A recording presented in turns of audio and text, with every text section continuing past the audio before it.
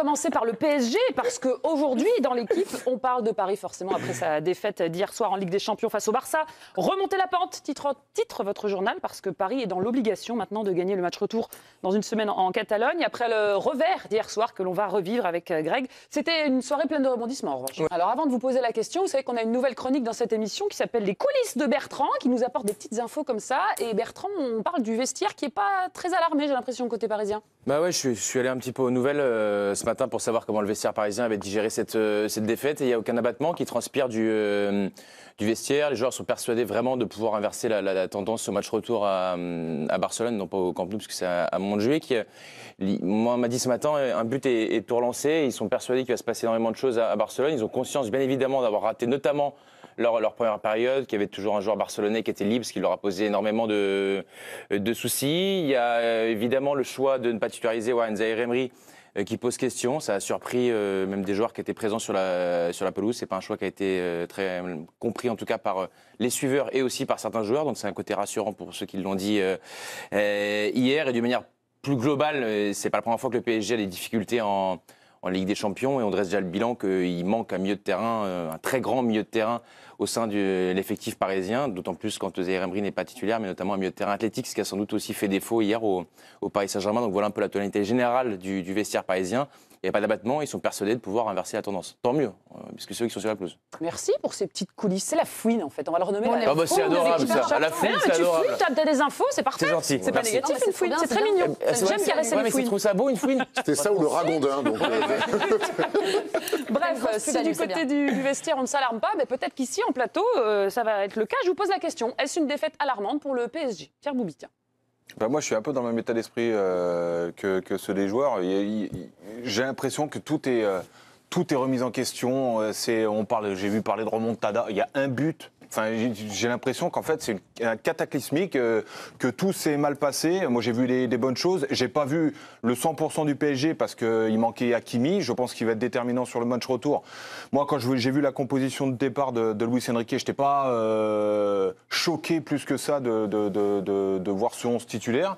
Après, on peut euh, pinailler après le match en disant ouais, mais ça se voyait, on savait que ça allait mal marcher. Quand on voit la compo, moi, j'étais pas forcément dans le doute.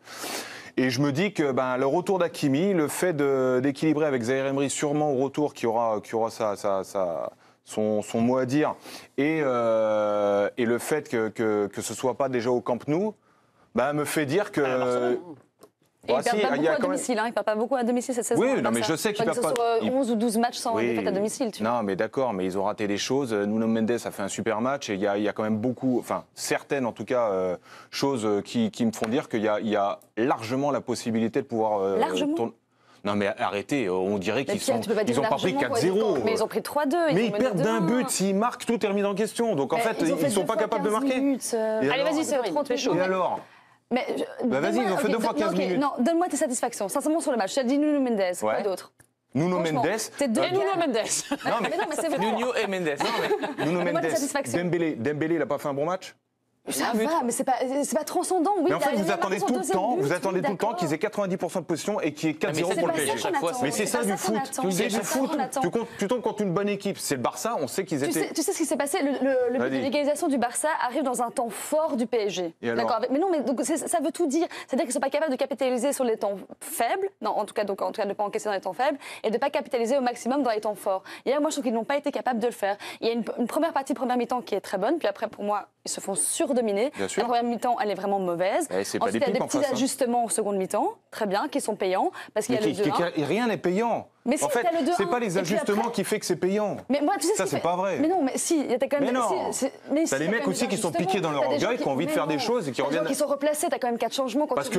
Lucas Hernandez à euh. droite, ça change la physionomie du match. Mais, ça- mais apporte quelque chose. Ça apporte que dalle. C'est différent. C'est Asensio qui Mais non, descend, mais c'est différent. C'est pas vrai, Pierre. Tu peux pas dire Mais ça. non, c'est pas les changements qui font la diff. suis désolée, les individualités étaient beaucoup plus fortes. Moi, je trouve, en tout cas, j'étais au parc. Moi, j'ai trouvé que individuellement, sincèrement, les individualités étaient différentes. Plus forte, en tout cas du côté Barça, Oui. que du côté du, euh, du PSG. Mais je dis pas qu'individuellement, l'équipe du PSG était meilleure que celle du Barça. Ce que je te dis, c'est que évidemment que c'est quoi. pas alarmant parce que déjà, ce sera pas du tout la même équipe qui va jouer au Barça. Ça, tu es d'accord avec Oui, moi quand même. Il y a Hakimi qui va Hakimi, ça, revenir. je suis d'accord avec Le- toi, le fait, complètement. Eux, ils auront fait- quelques retours aussi. hein, Aussi. Ouais, mais au passage. Oui, mais bon, tu perds. Mais Pedri, par exemple, il a sur le banc. On voit que quand il est sur la pelouse, bon bah. il a fait la T'as diff. t'as Christensen qui est blessé aussi, tu as des joueurs qui sont capables de marquer sur les coups de pénalité qui ne seront pas là aussi. D'accord? On est d'accord avec ça. Moi, je trouve, et je pensais pas, franchement, le fait qu'Akimi ne soit pas là, pour moi, ça déstabilise quasiment l'intégralité Ouais, de mais l'équipe. pas- On en a beaucoup parlé. Quand, quand ce sont les absents qui ont euh, raison, c'est jamais très bon signe. Moi, je suis. Ah bah euh, excuse, je- mais bon, si tu pourrais aussi. Ben non, mais je suis d'accord. Hakimi, c'est un, excellent joueur. Je l'adore. Depuis qu'il est revenu de la CAN, on peut pas dire qu'il soit euh, monstrueux. Donc, si maintenant le PSG repose sur le Hakimi, c'est Eh, embêtant. vous m'avez fait la chanson, Non, hein. mais Depuis le début suis- de l'année, le Non, meilleur mais côté- je suis d'accord. le côté Oui, plus fort du côté. PSG, c'est mais mais si- Dembélé. Si on parle de chanson Pierre, il y a une chanson moi que je répète depuis le début de la saison, c'est que chaque fois qu'il y a une bonne équipe, le PSG Donc moi je veux bien qu'on se, euh, qu'on se- qu'on se rassure et qu'on s'y flotte dans la nuit en disant ça va bien se passer. Sauf que Milan, bah t'as paumé, Newcastle t'as paumé, euh, Barcelone tu paumes. Donc moi je veux bien qu'on soit très confiant. La série de de quoi 27 matchs C'est un match en d'invincibilité, aller-retour. pour moi c'est de la flûte à bec parce que la Ligue 1 est faible. On s'en on s'en rend bien compte et j'ai rien contre les Brestois, mais voilà ça dit, ça dit oh, quand même oh, oh. un petit peu quelque chose. Et je sais qu'on là on a un Brestois, le maire de la ville qui est ici. Je dis également que ce qui m'inquiète, c'est que Mbappé, il en est à 6 matchs catastrophiques. Donc Ouais. peut-être qu'un jour il va- revenir, Ah, mais en, en a- en attendant, bah, il, il est, il est toujours aussi mauvais. Que Beraldo, avec lequel euh, s- s'entête notre ami Luis Enrique, manifestement, Beraldo, un mauvais il n'a pas encore Eh tout à fait le bah niveau, oui. mais il, Oui, il le met vrai. à tous les matchs. Vrai, que le milieu de terrain a pris la flotte, hormis deux fois 15 minutes. Même- hormis une demi-heure sur, sur c'est- 90. c'est là que je t'explique. et que ça, ça arrive à Oui, tous c'est là que je les t'explique matchs. Tous les matchs. Le fait de- de- d'avoir Hakimi, si tu as Marquinhos qui se ressentent dans l'axe, Beraldo, à mon avis, ne va pas jouer. Je pense que si tu as Lucas Hernandez, Marquinhos, Hakimi et Nuno Mendes, je pense que tu as une dépense. Ben non, c'est juste un Moi, joueur. j'ai quand même Donc la l'impression. Sociedad, euh, euh, Lucas Hernandez était remplaçant Beraldo titulaire. L'impression oui. que- j'ai l'impression qu'on est, beaucoup sur des spéculations d'absence. Et ça se tient hein, dans le, quand il y a des absents, il faut en pousser en parler. Mais on est beaucoup dans le si. Il y a quand même eu 90 minutes avec une équipe. Et moi, je trouve que oui, euh, le résultat est alarmant. Alarmant, ça ne veut pas dire que c'est insurmontable au retour. Là, je te rejoins. Mais par contre, hier, ce qui se passe, c'est alarmant. mais la, je- la prestation d'Mbappé, Ah ouais. elle est- c'est alarmant. Le résultat, il est alarmant quand tu perds 3-2. Quand tu perds 3-2 à domicile, oui. euh, quand tu- Merci merci beaucoup. quand tu perds 3-2 à domicile en match aller d'un quart de finale, oui, c'est alarmant, mais alarmant, ça veut dire que peut-être il y aura une autre prise de conscience, que peut-être qu'ils vont aborder ce match-là avec un autre état d'esprit, le match retour, avec peut-être ça veut dire un couteau danger. entre. Il y a grand danger. Mais danger. Exactement. Danger, grand danger avec un but de retard. Bah oui. Attends, tu voilà. Vas- Bah, attends, mais attends, Mais il jouait jamais au foot, mais- attends, attends, mais je crois que là, là, là, on est, là, on est vraiment sur, euh, on est vraiment sur la, la- la- la définition d'un mot. Bien sûr. Alarmant, ça veut pas dire que c'est infaisable. Par contre, si tu vas, Eh, tu, tu peux pas aller non plus. Tu peux vu exploit au Barça. Ça va être Ah, mais tout ça, mais t'as vu Paris. Mais attends, mais là par contre, pour moi, si tu vas à Barcelone en disant, les gars, c'est pas alarmant, il n'y a pas danger. Non, non, non. Là, là, ça ce que je ça, te dis. c'est- moi. bah, bah, ce que alors, je te dis, c'est que c'est pas alarmant. Il y a tout à faire, mais pour Donnarumma, Donnarumma, il y a encore une fois dans un grand match, il passe au travers. Oui. Euh, au milieu, t'es mangé. Je vois pas non plus que d'un coup, en, en une semaine, ils vont trouver pour qu'au milieu, ils aient trouvé la, la, la, la, faille incroyable. Même si. Emery Ils va jouer. Hier, il y a quand même eu des défaillances individuelles et collectives qui, qui, qui, qui peuvent être alarmants pour le retour. Justement, Luis Enrique, il en a parlé un petit peu de ce côté alarmant. Bertrand, tu nous racontais les coulisses, il n'y a pas trop de doute dans le vestiaire.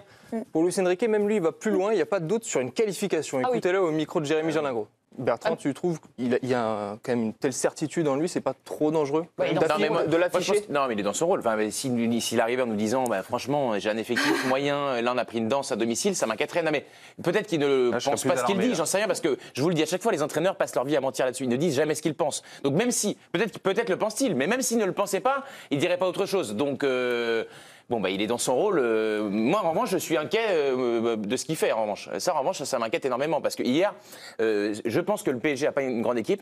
Ça, je le pense depuis le début de la saison. Mais je pense qu'hier, il a rendu son équipe plus faible que ce qu'elle est. Parce que. Bah, sauf au moment des changements à la mi-temps. Mais Ah, ces changements sont une correction d'une Oui, erreur euh, initiale monstrueuse. Le but, payer le- plus tard, je l'ai dit hier dans le but d'un entraîneur pour moi, c'est de mettre les meilleurs joueurs dans les meilleures conditions. Et hier, tu en as plusieurs qui ne sont pas mis dans les meilleures dispositions. Et, donc, et ça, c'est sa responsabilité. C'est bien de vouloir s'adapter, de vouloir inventer des choses. Parfois, il faut aussi avoir l'humilité de ne pas vouloir être la star du match et de simplement mettre les joueurs dans le confort. Tu l'as dit dans Et- l'équipe du soir, ça, non? Oui, je- Merci bah de oui, ne mais pas dire les mêmes arguments dans Ah, mais par contre, c'est la même analyse. Par contre, quand, il parle, quand il parle des matchs à l'extérieur, je suis désolée, en Ligue des Champions, cette saison, c'est une victoire à l'extérieur sur quatre Oui, il matchs. parlait de championnat, je crois. Oui, mais non, mais c'est ça, mais justement, mais là, on, est- on est en Ligue des Champions quand même. Enfin, je veux dire, ils vont jouer face à une équipe qui ne perd pas à l'extérieur, euh, qui perd pas à domicile, en fait, depuis, enfin, depuis 11 matchs ou 12 matchs. 11, Donc, Après, moi, j'ai quand même envie d'écouter le seul footballeur du plateau qui nous dit Non, mais attendez, euh, juste un but, c'est pas la fin du monde, quoi. Attends, tu m'as pas vu en five. Oui, t'as pas joué euh, peut-être. Ouais, il n'était pas inquiet non plus, euh, le, le- le grand footballeur, il n'était pas inquiet non plus avant le match. Non, hier. mais j'étais j'étais serein. Franchement, je pense que c'est un match entre deux grandes, deux grandes équipes. Là, Je suis pas là-dessus. Tu parles de Paris? Je pense pas que ce soit des, des grandes équipes. Oui, bon, bah d'accord, bah, tu trouves un autre adjectif, c'est pas grave. Non, mais sérieux? Non, mais. Je pense que Real et City, c'est deux grandes équipes. Là, je pense que c'est deux bonnes équipes, mais Non, c'est pas des grandes ouais, équipes. bon, bah, pardon, excuse-moi, je me suis trompé d'adjectif. Ah non, mais Deux euh, on est d'accord équipes, là-dessus. Ok, ok, ok. Ce que je te dis, c'est qu'il y a quand même deux effectifs qui sont cohérents pour jouer avec des Oui, champions. oui, oui. Maintenant, euh, j'étais plutôt, euh, plutôt euh, optimiste parce que je me dis que cette équipe dégage de la sérénité, que ça s'affole pas, que mine de rien, bah, au retour, il y a quand même de l'orgueil parce qu'au retour des vestiaires, et je crois pas une seule minute que le fait d'avoir mis Lucas Hernandez à droite, ça a changé la physionomie du match. Mais j'ai trouvé que Barcola va revenir aussi. Il a été super intéressant quand il est rentré. Je me dis que et tactiquement, je vais parler un peu technique, mais tactiquement, le fait d'avoir Hakimi fait que tu es obligé de mettre Warren Zahir Emery. Parce que c'est un mec qui a une intelligence de jeu et qui compense énormément de choses. Et je me dis qu'avec le côté gauche, avec euh, l'artiste, le cheval, là, euh, Nuno Mendes, qui court dans tous les sens à 3000 à l'heure, et Hakimi, je pense que tu peux les mettre en difficulté sur le côté mais de Barcelone. Tu puisses les mettre en difficulté, Mais- c'est sûr. Mais est-ce que toi, tu, est-ce que tu ne concéderas plus d'occasion? Est-ce que tu ne prendras pas de but? C'est ça, mon problème. Bah, déjà, je pense marquer, que- moi je suis assez d'accord Je pense déjà marquer là-bas, on est les problèmes avec la profondeur à chaque fois que Lewandowski a décroché, je pense qu'on les aura plus avec Hakimi et Nuno Mendes. Moi, c'est mon avis. Après, je pense que Beraldo a été un- une C'est pas dans la zone d'Akimi. Hein. Une grosse crampe pour le, pour le PSG parce qu'il était absolument pas à la hauteur. Et ça, je suis d'accord avec toi. Les choix de Luis Enrique, certains, en tout cas celui-là, n'a pas été bon parce que c'est ça, ça a foutu quasiment 60 minutes du C'est lui qui doit sortir à PSG la mi-temps. C'est lui qui doit Oui. sortir à la mi-temps. Mais après, euh, comme, enfin, il est avec eux tous les matins. Donc, euh, toi, j'ai envie de me dire, euh, peut-être qu'il, enfin, je vois pas l'intérêt de se tirer une balle dans le pied, de mettre mais les joueurs qui sûr. sont pas bons. Erwan, sur l'info que nous donne Bertrand, est-ce que c'est une bonne chose que les joueurs du PSG euh, s'alarment pas et soient tranquilles pour le match retour. Il y a toujours plusieurs lectures. Très dures quand on n'est pas dans un vestiaire, mais euh, moi je pense que euh, j'entends les joueurs entre eux, mais des joueurs, j'essaie de pas d'avoir une autre lecture, de- des joueurs qui disent qu'ils comprennent pas les choix des coachs, ça peut aussi créer de et ça il n'y a pas besoin d'avoir joué au foot à haut niveau, à n'importe quel sport qu'on fait, quand à un moment donné un coach dans des matchs aussi importants, on sait que le PSG joue sa saison sur euh, les phases finales de Ligue des Champions, quand sur un match important à domicile un coach fait des choix et que l'équipe, même les mecs qui, qui sont titulaires se disent ah, mais pourquoi il fait ça? Ça peut aussi peut-être euh, créer un, euh, écart, entre, un écart entre, entre ce que le coach pense et ce que les joueurs veulent faire. Bertrand dit souvent, à juste titre, que le coach doit mettre les joueurs dans les meilleures conditions possibles. Je n'ai pas l'impression que c'est ce que fait Luis Enrique. Donc, Tu dis pas ça quand Deschamps met euh, l'autre arrière droit. hein. Qui ça, donc je dis pas ça. Koundé Non, pas Ah, toi, Koundé, hier, il- bah, des- Ah oui, Mbappé l'a rendu bon hier au poste derrière Ah droit, oui. ce qui fait une bonne, ce qui est une Bah, bonne tu peux nouvelle en pour Didier rajouter, Deschamps. tu peux en rajouter un autre à côté. Par exemple, on- Parce qu'Aroro, il a- ils étaient à deux quasiment tout le temps dessus. Ouais, pas, faut pas, pas, tout, le- pas systématiquement non plus. Non, mais je trouve que l'ana- l'analogie, elle est bonne. Sur Luis Enrique, moi, j'ai trouvé qu'on s'était beaucoup enflammé autour de lui. Et, et moi, j'ai toujours été prudent là-dessus. Parce que le problème, enfin, le problème, quand tu inventes des choses, par exemple, contre la Sociedad, il fait jouer euh, Dembélé, euh, euh, faux numéro 9, on va dire, enfin, numéro 10, qu'il a quasiment jamais fait depuis le début de saison. On dit c'est génial. Moi, je dis, je suis pas sûr que ce soit génial parce qu'on a, on a, on a vu, on a vu régulièrement. Bah, tout le monde l'a dit après le match de la Sociedad, Dembélé, il a plutôt été bon. On l'avait dit, c'est super. Ce qu'a trouvé euh, Luis Enrique. Intéressant. Moi, je dis ça. Mais non, parce qu'au final, quand, quand ça marche, tu dis c'est génie- c'est un génie. Et quand ça marche plus, immédiatement, tu es sanctionné parce que tu te dis, mais pourquoi, il pourquoi lui, il n'est pas son poste? Pourquoi lui, il n'est pas son poste? Pourquoi lui, il n'est pas son poste? Et au final, tu fragilises tes joueurs. Ouais, mais faut Alors pas que- prendre Luis Enrique alors à ce moment-là, parce qu'il a toujours fait ça dans tous les clubs. hein. bah, euh, je suis pas sûr parce qu'à. Barcelone, il y avait euh, la MSN, ils étaient tous là. J'ai jamais vu Messi euh, faut de Pour conclure, et rapidement, c'est ton info, on le rappelle, Oui. Bertrand, le vestiaire, le vestiaire parisien Oui. qui ne s'alarme pas, est-ce que ça t'étonne? Est-ce que tu trouves ça Non. logique en 30 secondes? Non, moi je, trouve- je trouve ça plutôt logique. Là, on est à la mi-temps en fait de la double, double confrontation. S'il y avait deux, trois buts d'écart, ce serait différent. Mais là, il n'y a qu'un but de différence. Comme l'a dit Luis Enrique, le changement de règle avec le fait qu'il y ait le but à l'extérieur ne compte plus double en cas d'égalité leur est favorable parce qu'ils en ont concédé euh, trois. Ils se sont quand même procuré des occasions. Il y a des grands joueurs. On peut aussi supposer, et je crois que dans le vestiaire, ça je l'ai pas dit, mais je pense que dans le vestiaire, il y a un certain- certain nombre de joueurs qui pensent que Mbappé il va pas faire deux fois le même match qu'il a fait euh, à l'aller. Moi, j'en j'en pense un peu moins qu'eux. Mais en tout cas, je trouve normal qu'à ce moment de l'histoire, ils se disent on est capable de le faire. Ce serait grave sinon. Match retour mardi à Barcelone. euh, Pour une défaite, il y a des gens qui remettent en question tout le travail de Luis Enrique et on va en parler dans cette vidéo. Salut à toi et bienvenue dans cette vidéo. Dans cette vidéo, on va parler de Luis Enrique, on va parler du PSG, mais avant de commencer, Si tu me découvres à travers cette vidéo, ici, nous, on parle de foot. Ici, nous, on est passionné par le foot. Le foot sur cette chaîne, c'est notre passion. Donc, si tu es intéressé par la thématique et surtout, si tu aimes ce genre de contenu, n'hésite pas à t'abonner, d'activer la cloche de notification pour ne rien manquer des prochaines vidéos qui vont arriver sur la chaîne. Si c'est fort, on est parti. Alors, pour une défaite contre le FC Barcelone, il y a des gens qui remettent en question tout le travail de Lucien Riquet. Il y a des journalistes même qui n'attendaient que ça pour le détruire. Je pense notamment à Daniel Riolo. Daniel Riolo, il n'attendait que ça. Il n'attendait que ça. Lorsque tu es un journaliste qui affirme ouvertement que je n'aime pas cet entraîneur humainement, ça signifie que même ton analyse sera biaisée.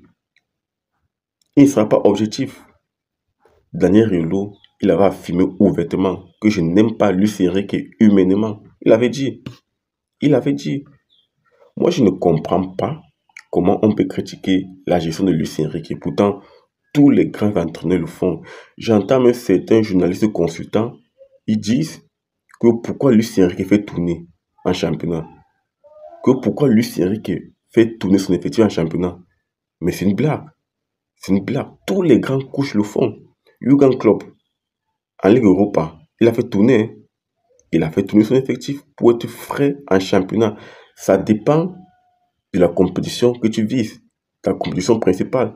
Si tu vises la LDC, la Ligue des Champions, tu vas faire tourner en championnat pour que tes jeux soient frais en LDC. C'est logique ça. C'est logique, tous les grands clubs le font. Arsenal le fait. Arsenal fait tourner. Liverpool fait tourner. Si je n'en parle même pas. Guardiola, c'est le chef de ça. Guardiola aligne une équipe à l'autre. Il bouleverse son effectif. Si tu ne fais pas ça, tu es cuit. Si tu ne fais pas ça, tu vas pêcher physiquement à la fin de la saison. Tu vas pêcher physiquement. Et pourquoi, lorsque c'est Lucien qui le fait, tout le monde lui tombe dessus? Pourquoi, quand c'est Lucien Riquet qui le fait, tout le monde lui tombe dessus? Pourquoi? Parce que il est arrogant avec les journalistes Parce qu'il n'aime pas les journalistes À un moment donné, il faut faire la part des choses. Hein. Il faut faire la part des choses entre la haine, la colère et la rationalité. Il faut être rationnel. Lui, c'est vrai que pour moi, je trouve qu'il gère bien l'effectif du PSG. Il manage bien. Il manage bien. Si inadmissible que tu aies un match de LDC et tu veux mettre ton équipe titulaire alors que tu as 10 points d'avance sur, le deuxième. Si un joueur se blesse là-bas, on va te reprocher que non, pourquoi tu as mis tel joueur? Pourtant tu savais très bien que tu as 10 points d'avance sur le deuxième. On va te reprocher ça. Comment les gens sont cruels comme ça? Comment les gens sont vraiment cruels comme ça? Si la Ligue sont effectifs en championnat et que un joueur principal se blesse, un joueur majeur se blesse, ce sont les mêmes personnes qui vont lui tomber dessus en disant que non, pourquoi il a aligné son équipe type en sachant que il avait un match important en RDC. Ce sont les mêmes qui vont lui tomber dessus. Ce sont les mêmes qui vont lui tomber dessus. Les gens sont tellement hypocrites. Les gens sont tellement hypocrites, les gars. Parce que c'est Lucien Riquet, on lui tombe dessus. Oui, face au Barça, il s'est planté tactiquement, il s'est planté sur la compo. Ça arrive. Même Godja se plante. Même Klopp se plante. Même Ancelotti se plante. Ça arrive. Mais de me dire que Lucien Riquet ne gère pas bien le PSG, que son management est vraiment dégueulasse, pour moi, je trouve vraiment ça immonde. Je trouve ça immonde, les gars. C'est pas logique. Ça ne tient pas la route. Ça ne tient pas la route. Quand là, tu fais tourner, tous les grands coachs le font. Lorsque tu as un effectif large, tu fais tourner. C'est normal, c'est logique. Pourquoi quand c'est Lucien Riquet qui le fait C'est un drame. Ça fait polémique. Donc, moi, je trouve que on doit un peu arrêter avec Lucien Riquet, les gars. C'est face au Barça, il s'est planté dans la compo, mais ça ne fait pas de lui un mauvais entraîneur. Ça ne fait pas de lui un entraîneur nul. Donc, partage-moi ton ressenti en commentaire sur la thématique. Et si ce n'est pas encore fait, n'hésite pas à t'abonner, d'activer la cloche de notification pour ne rien manquer des prochaines vidéos qui vont arriver sur la chaîne. Si ça, on se dit à très bientôt pour notre vidéo, les amis. Ciao, ciao.